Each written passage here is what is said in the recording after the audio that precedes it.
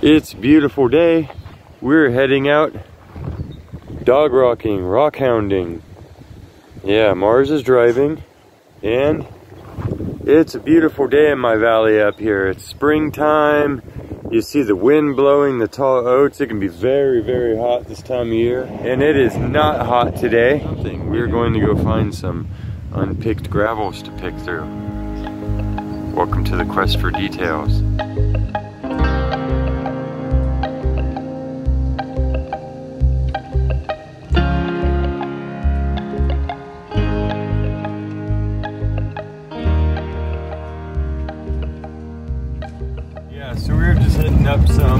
Land and um, looking in the creeks. The interesting part about this area,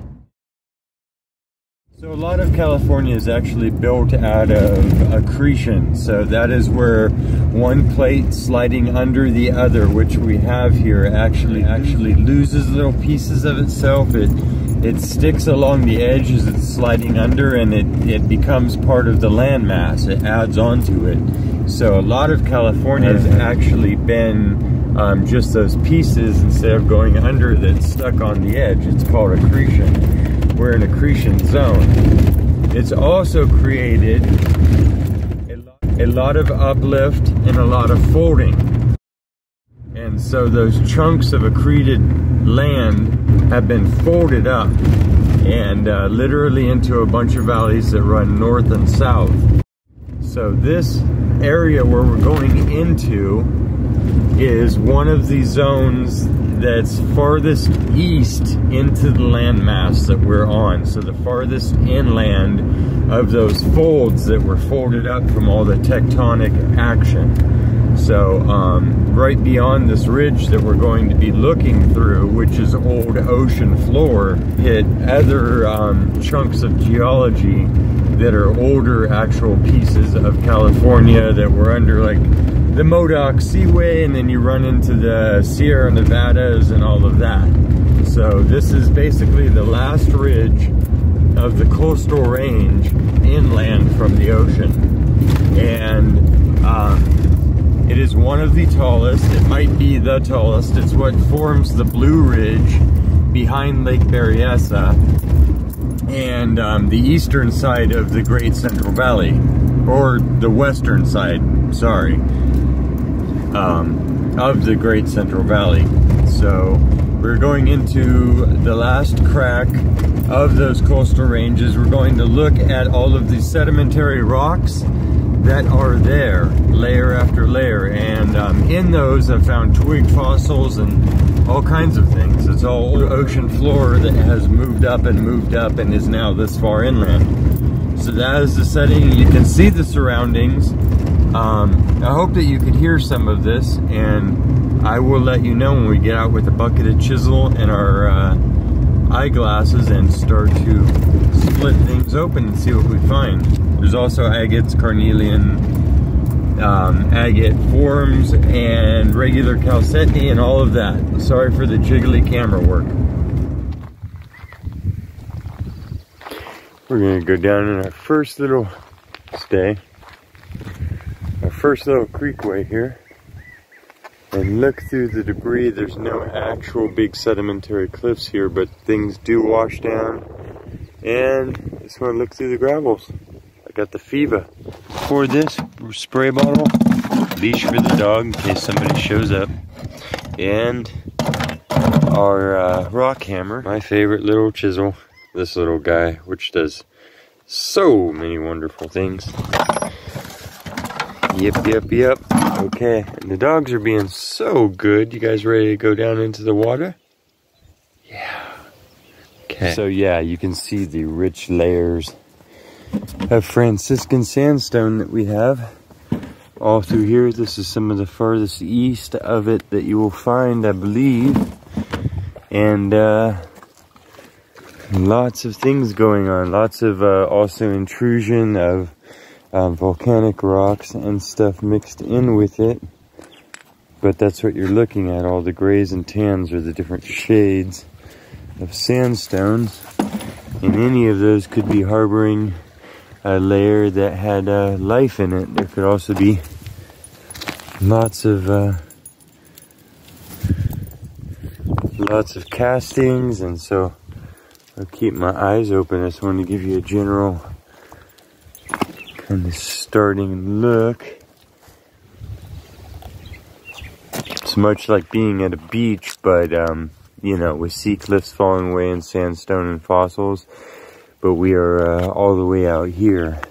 I remember finding before that there were certain colors of it that had the most twigs and stuff, so we'll have to rediscover that. You can see that it's literally preserved beaches, so we have like, that's the rounded sand of a former beach just still existing there, but this far inland, lifted up, compressed and turned into rock. All sorts of stuff. Brought the spray bottle. Feels light enough to be a common opal. I think we might just knock that in half. I know that freaks some people out, but today we're doing some prospecting. So some of that's gonna be just smashing rocks. Red jaspers. Okay, the dogs are in the water. Little bleached out part of a, a turtle shell. That's a little leg spot there.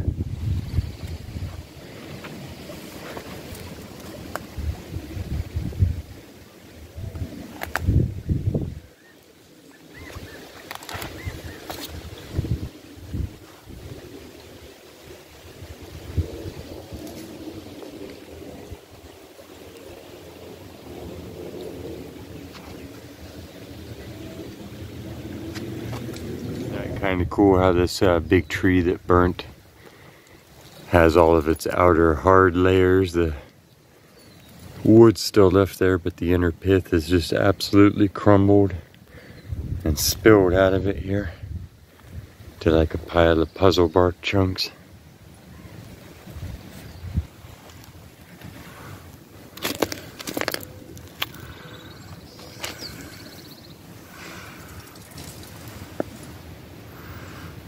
cool little mud or uh, mud rock. It's like a layered, uh, instead of a sandstone, it's a mudstone, I believe, or a clay stone. Little nodule creature with its layers.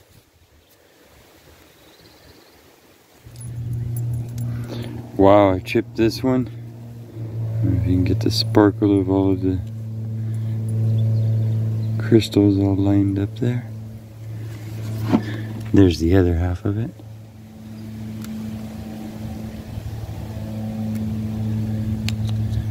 That's cool. Okay, we have switched over from my phone, which just never seems to have enough memory, but I like the uh, the zoom on and the quality of the zoom to our GoPro.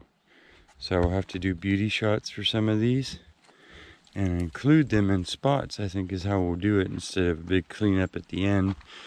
But, let's see, this was the next thing that I had found. Which is another, obviously like an ironstone. It's like a heavy clay, layered little deposit. Feels pretty cool, and in cutting it, it probably will have layers. I don't know how stable it will be. And what else were we looking at? There's just all kinds of those. These are all obviously chunks of this uh, sedimentary layering around here that has little flat crevices and, and, and areas in it that can fill in with uh, with uh, calciferous drippings, however you want to say that. And um, all of the soft sandstone wore away. And this is what we have left. A lot of it in this gravel bed. Chunks of that. Yeah, that's not quartz as we turn it. There's different reflections from the different layers of uh, of orientated crystal habit in there. Ooh, what are you? That's ridiculous. That's almost turquoise looking. Huh. Which definitely got like a manganese green to it. Or a copper green. Some sort of green affecting it. In hopes of uh, cutting, polishing, I'm sure that if you made orbs out of this stuff and marbles, it would have a really cool um, patterning to the whole thing. Is that an agate? That is a little agate. It's kind of a dirty little thing, but that's silicate. Okay, let's bring the bucket over here. I'll set this rock on top so I know I got that far. Turn up. So these are probably uh, reverse prints, you know, places where there was a dent in the mud and then it got filled in. But definitely uh, some trace of something has been preserved in the sandstones or mudstone. Maybe we'll bring that.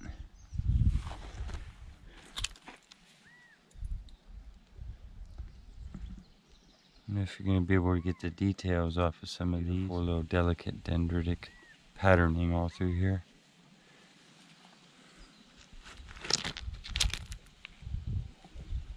Inspecting everything. I'm sure there's 30 things that are right here that I don't quite see what they are, but they're really cool. As things go and they tend to hide. This is a big old biscuit of uh, calcite crystal, all orientated up and down direction. We'll take that too. I'm liking that stuff. Or at least have a little stockpile of it. Maybe we'll break some up into specific patterns and then uh, tumble it. See how it looks. Another little pattern stone.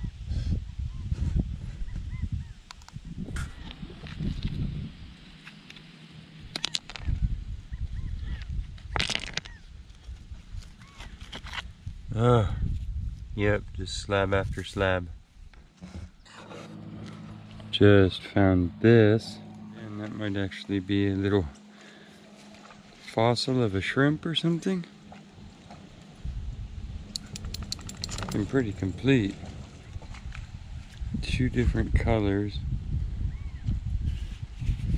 A sea scorpion or something, I don't know. Of a little shrimp or something there though. I don't know. You let me know what you think. Is this a is this a shrimp or a crab or something you recognize? I'll put some beauty shots in here.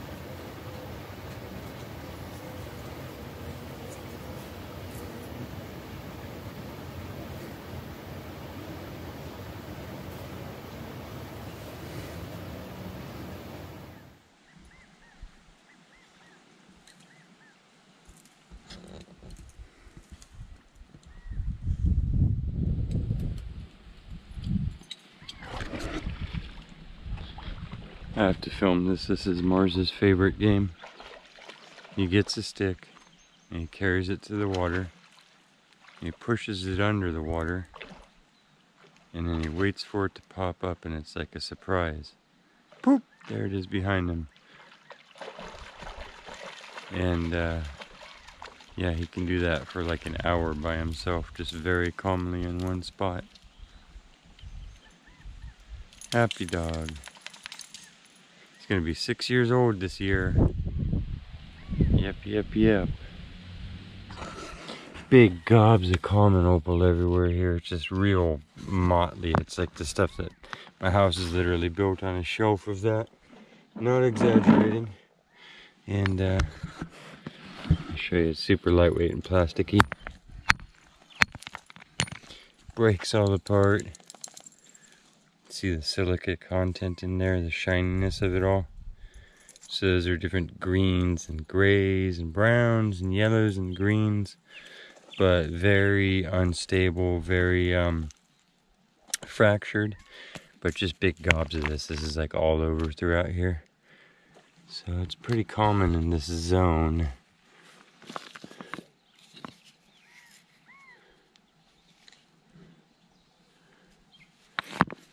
Question marks, question marks, question marks. Yep.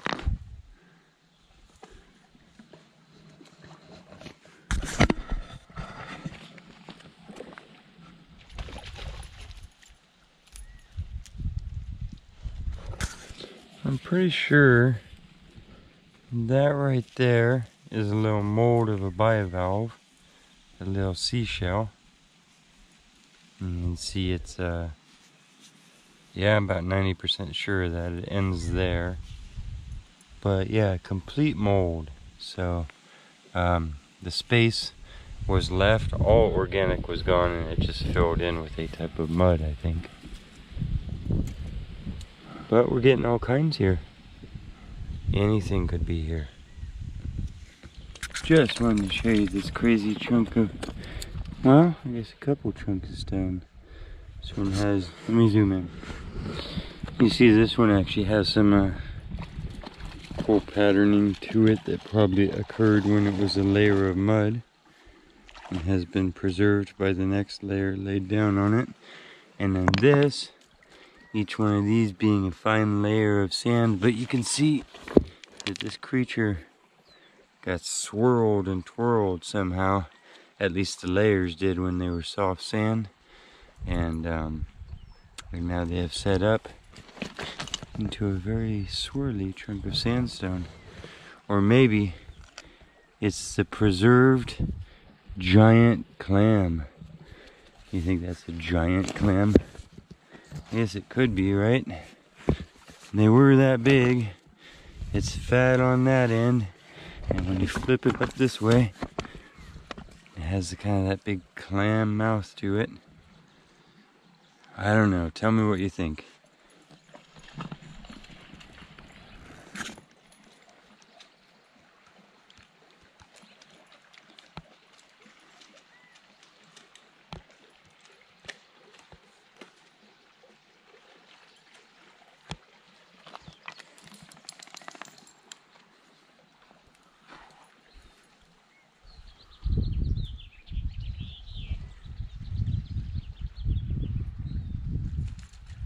Collecting these two because I think that they might actually make a real fun little cut. They'll definitely be soft. And uh, they're a harder type of stone. They sure have some pretty colors going on in there. I call it a ringed or banded ironstone at this point.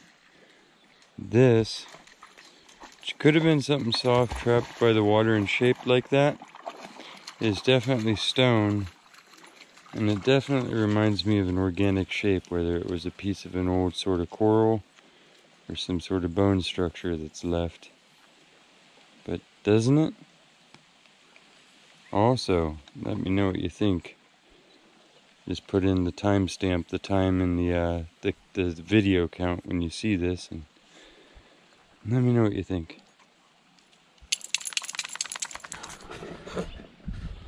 This one's got really cool little patternings. I'm hoping this camera will pick it up.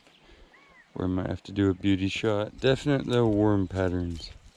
Where they were probably crawling through the mud. Really cool. Um, not moving very far really.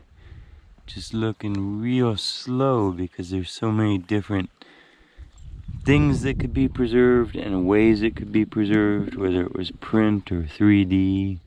Kind of thinking about the grains of the stones I'm seeing. Some of them have old sand from old sandy beaches. Some of them are, what are you? That's like a clay stone, obviously, or a finer sandstone.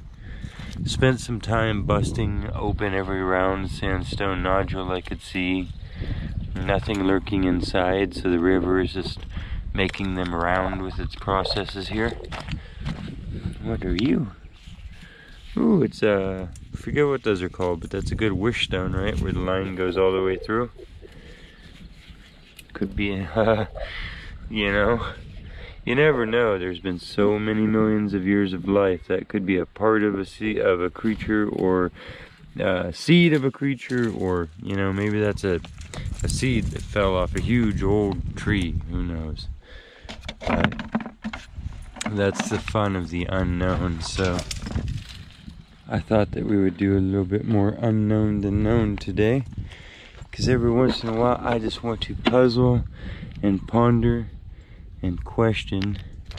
Also, I love being a tour guide for things that I've found already, but I also love discovering and make myself look like a fool a little bit. It's all good. Look, so here's some some uh, sandstone that has little prints of flotsam and jetsam, little organic matter that would have been floating and sticking in the mud but usually indicates to me that we're in a location that uh, was close enough to shore to probably get some sunlight in the water and have life. Along with these, no imprints of bivalve shells and such. So, um, yeah, all really good signs. There could be anything, anything I tell you. Tyrannosaurus rexes that came down to the shoreline to feast on the carcasses of dead whales, and then a tidal wave buried them both. And we're gonna find them laying here any minute.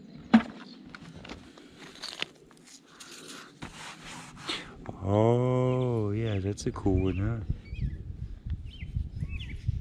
At least for a yardstone, all the little patterns. Ironstone agates. I bet you a lot of these are.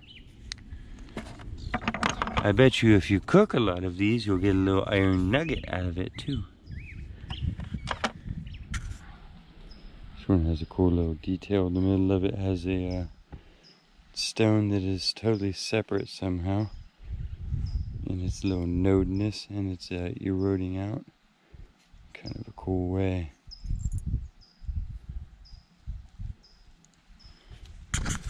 This could be a chunk of bone marrow from something big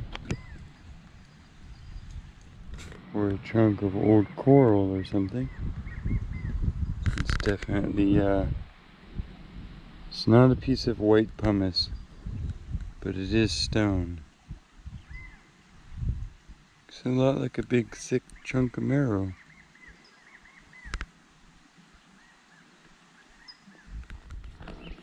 There's a big old one of these. The concretions with the iron banding in it. This one's super big and feels compact and heavy. I'm wondering if there aren't really cool windows all in there. So I think we'll bring it home too. Maybe slice this one open. What do you think? As we start to find these, here's some more bivalve imprints here. Here's a full casting of one sticking out as we start to find more of those, we can kind of uh, keep remembering making mental notes of the color of the rock that they're in. See that?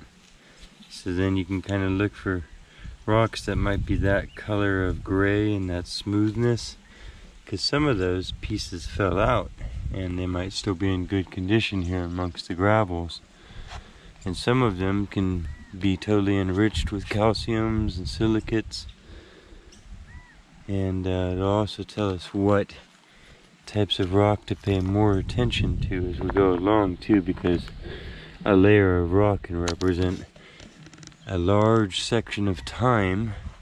And in that large section of time conditions can change from when there is life to where there isn't life in that chunk of water or vice versa. So um, layers above it and below it can be totally devoid of life and then one layer could have had a good couple of thousand or half a million years where it did have a lot of life in it. That's what we're looking for is clues and details. And there's a chunk of old iron in the creek. Look at that. Whoever that was. I don't think it's a slab of meteorite, it just looks like one at this point. We'll go ahead and bring that home because it's so cool. Basically just a chunk of pure iron. It's um It's all misshapen and stuff. Maybe it's where people cut. There used to be a barn across the road for sure, so I imagine stuff got thrown in the creek. Here's another little ironstone.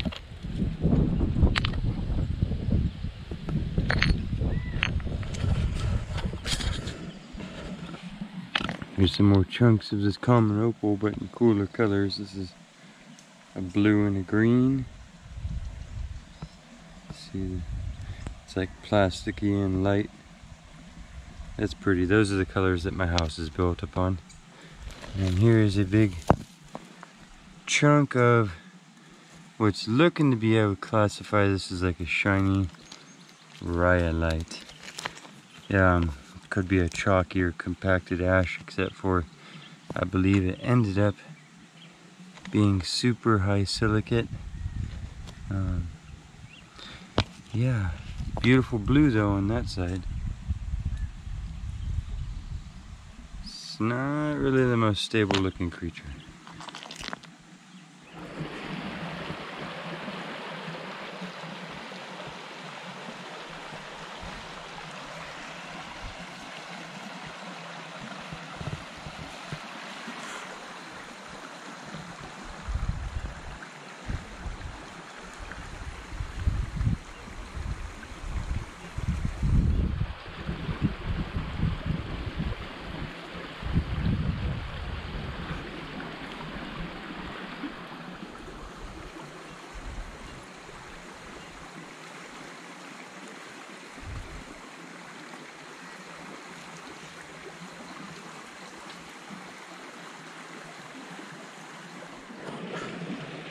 Here's a pretty cool little chunk of rock.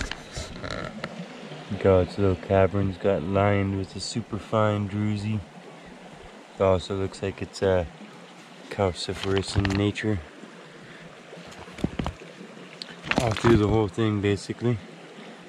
Honeycombed all of its little fissures. Probably like a a break, a broken up pattern in uh, the sandstone that then got filled and stitched together with this.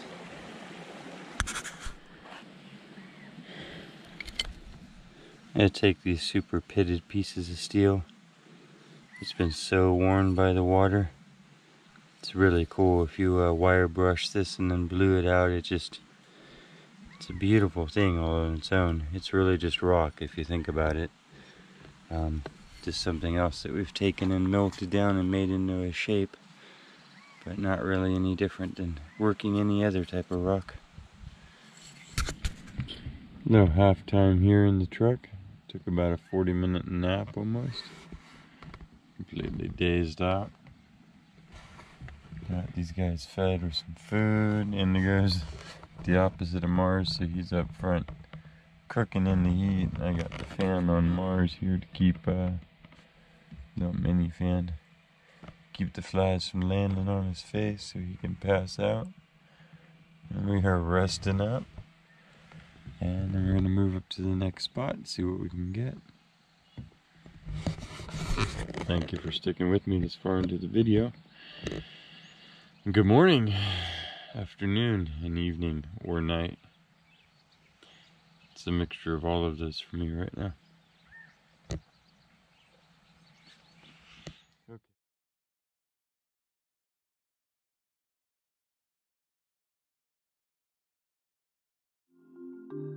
We would like to invite you to come visit our online treasure shop. In the description below is a link that you can click on which will take you to the store. There you can find all sorts of beautiful rock and mineral specimens, as well as handcrafted jewelry made from our finds on the quest for details and all sorts of other custom creations. Whether you're looking for that special little something for yourself to add to your collection or trying to find the perfect gift for someone else, we have an ever changing selection of unique and one of a kind items to browse through. And every purchase helps support the Quest for Details channel.